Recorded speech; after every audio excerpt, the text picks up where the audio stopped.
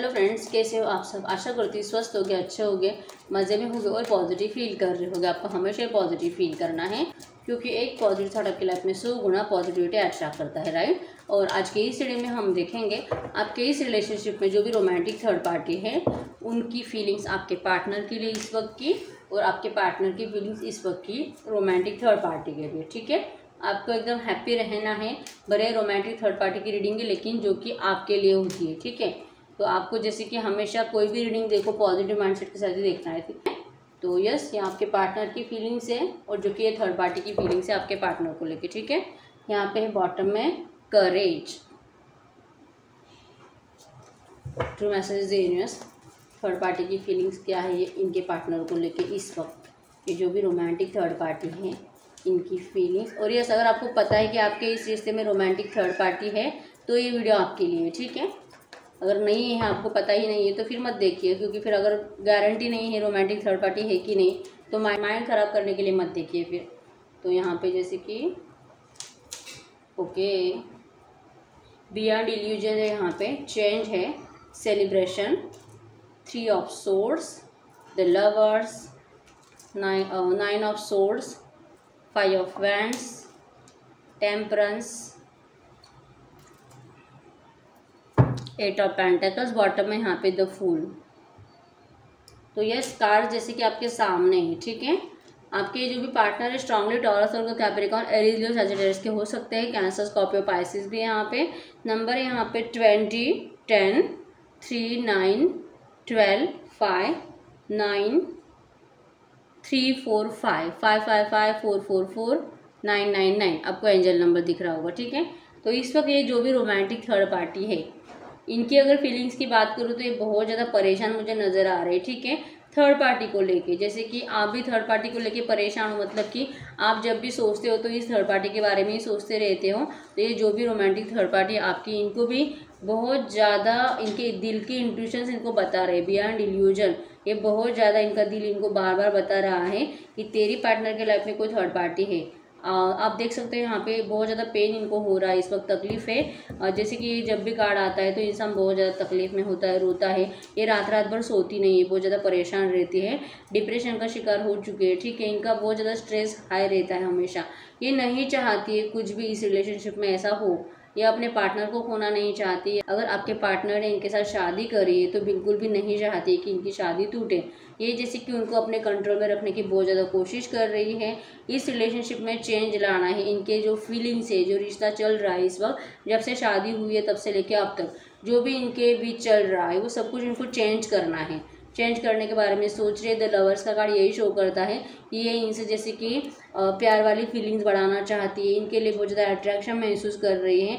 और जैसे कि भगवान को बोल रही है कि भगवान प्लीज़ कुछ मिराकल कर दे हमारे इस ज़िंदगी में, हमारे इस रिश्ते में कि सब कुछ ठीक हो जाए. सेलिब्रेशन का कार्ड यही शो करता है कि ये आपके पार्टनर के साथ जैसे कि सेलिब्रेशंस मैनिफेस्ट कर रही है, खुशियाँ मैनिफेस्ट कर रही है, उनके बिना बिल्कुल भी रहना नहीं चाहती है, ठीक है?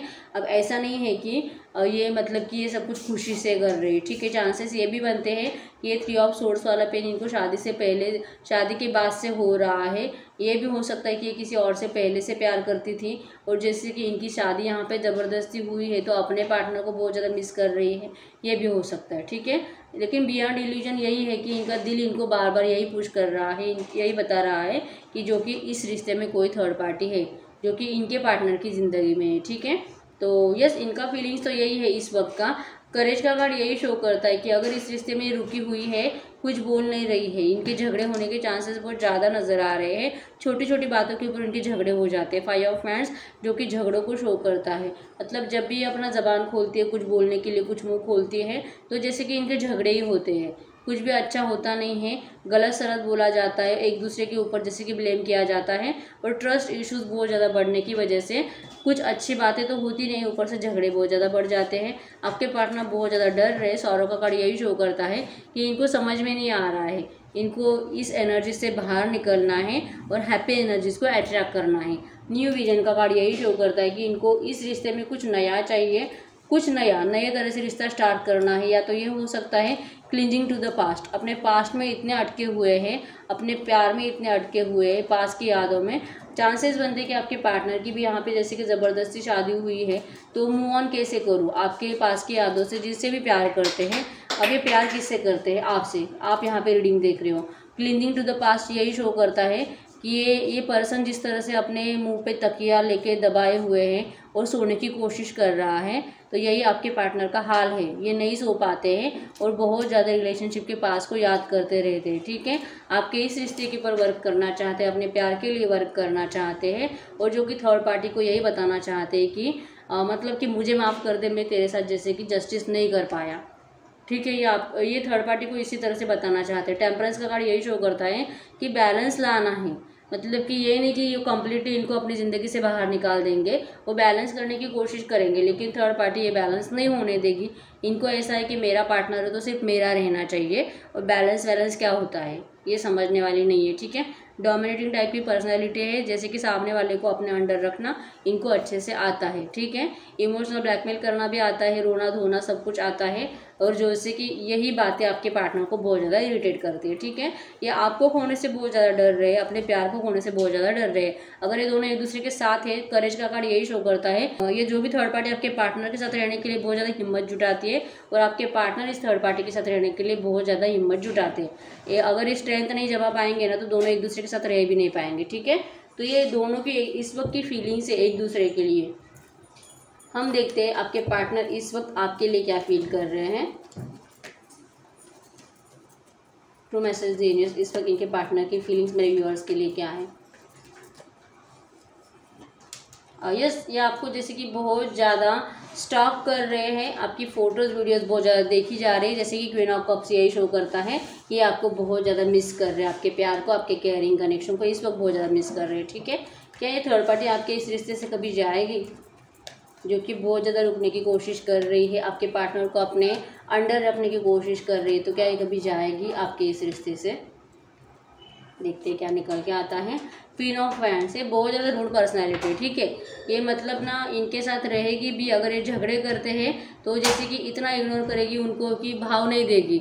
उन्हीं के साथ रहेगी, एक ही घर में रहेगी और उनको अनदेखा करती रहेगी। पहले तो उनको मैनेज कराने की कोशिश करेगी, अच्छे से समझाने की कोशिश करेगी और अगर फिर भी इनको ऐसा लगा कि मेरे तो इतना हंड्रेड परसेंट देने के बाद भी जैसे कि मेरा ये पार्टनर तो मेरी कुछ भी नहीं मान रहा है तो ये जैसे कि तू कौन, मैं कौन, इस तरह से जीना स्टार्ट करेगी और इनको इग्नोर करना स्टार्ट करेगी, ठीक है जाने के चांसेस बहुत ज़्यादा कम है क्योंकि यहाँ पे क्वीन ऑफ़ वैंड्स और यहाँ पे ब्लैक बिल्ली आपको दिखाई दे रही है। ये जैसे कि आ, मतलब कि नेगेटिविटी है बहुत ज़्यादा बढ़ाएगी बाद में ठीक है? झगड़े बढ़ाएगी और जैसे कि इनको अपने कंट्रोल में करने के लिए कुछ ब्लैक मैजिक वगैरह करने का ट्राई कर सकती है ठीक है? ये थर्ड पार्टी की एनर्जीज है रिश्ते से जाएगी तो चांसेस बहुत कम है ठीक है? हम देखते हैं आपके पार्टनर का नेक्स्ट एक्शन आपके लिए क्या आ सकता है। ट्रू मैसेज दी इनके पार्टनर का नेक्स्ट एक्शन मेरे व्यूअर्स के लिए क्या आ सकता है। इनके इमोशंस आपके लिए बहुत ज़्यादा है, ठीक है?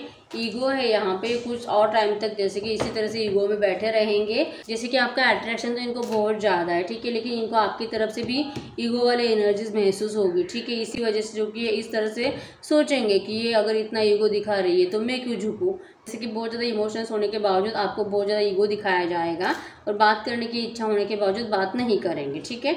यहाँ पे सोलमेट का कार्ड आ चुका है जो कि ये शो करता है।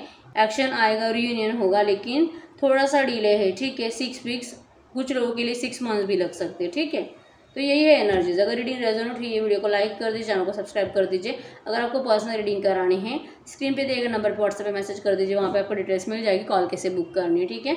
तो मिलते हैं नेक्स्ट वीडियो में, तब तक के लिए बाय बाय